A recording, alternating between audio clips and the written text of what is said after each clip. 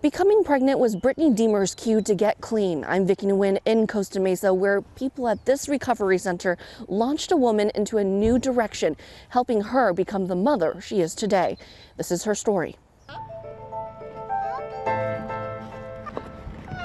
Brittany Deemers knows all too well about how life has its ups and downs.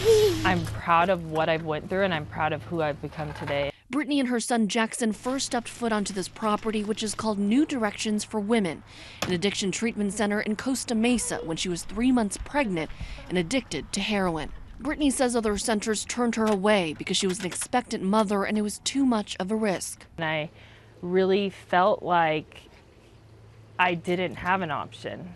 Like I didn't have the option to recover and I didn't have the option to be a mother. Brittany immersed herself into the center's recovery program for three months. They made me feel like I, I could do this, like I was strong enough to do this.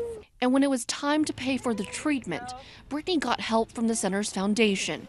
Tanya Bhattacharya is executive director of the foundation. The majority of women seeking treatment in this country have children. Over 70% of them have children. And it represents the biggest barrier to why women do not get the help that they need. They don't want to be away from their kids. The foundation gave Brittany a partial scholarship to help her pay for the treatment. Now, Brittany says she's living a sober and rewarding life with her husband and two year old son, Jackson.